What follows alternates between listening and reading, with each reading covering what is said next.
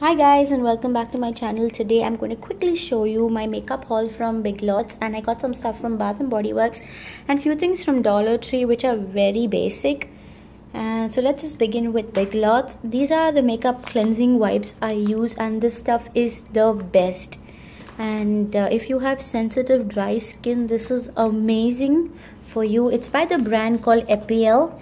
And I picked up the aloe vera cleansing tissues, the cucumber cleansing tissues, and the argan. However, my most favorite one is the green tea, but they don't come in the $2 pack anymore in my big lot. So I just tend to get these, the ones with the cover, the flap because it tends to stay more moist and that's what I like about these wipes and it comes 60 to a pack which is a great value. Also got some kettle corn that they were selling in the mall. Picked up this Almay Smart Shade for $2.80 and this is a powder blush.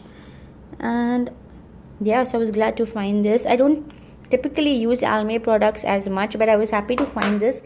And also this um, Almay for two dollars. It is their I forgot what this line is called but I picked this up in the shade oh I'm sorry. I picked this up in the shade truffle. I can see hints of shimmer in it a little bit.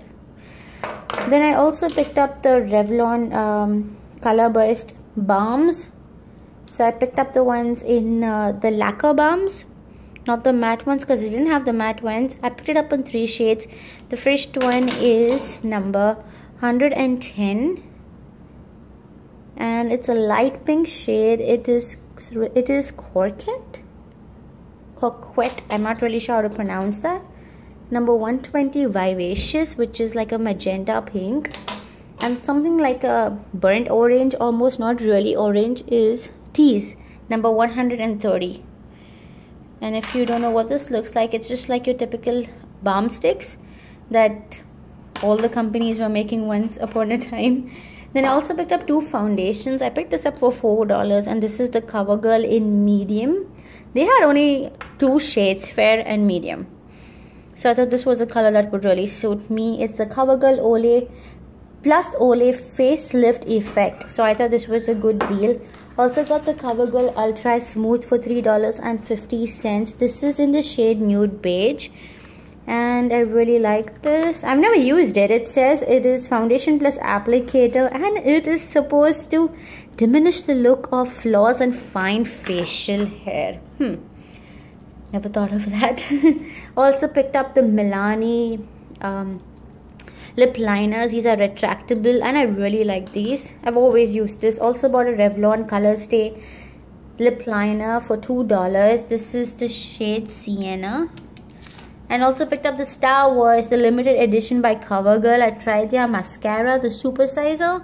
It was only $2.80. So that was the things, uh, that, I mean, I got this stuff from Big Lots. Just quickly showing you what I got from uh, Bath and Body Works. I got all body shower gels because that's the only thing I kind of like to buy in general. I don't like lotions as much. And uh, they were having a 75% off. So I picked up the shower gel for in Freesia, watermelon lemonade, eucalyptus spearmint. This is probably my most favorite one. And cucumber and melon. If you were to not buy this on sale, then they are like $12.50 a piece. I got them at a steal at $3.75. So in total, I paid like $14 with tax, which I think is really good. And just to quickly show you what I got from Dollar Tree, it's just some toothbrushes it's by Colgate and I have a performance tomorrow so I needed a folder. So I just picked that up. And I picked up some gum and hand sanitizer and what else? And bandages which I actually left in my car for my car kit.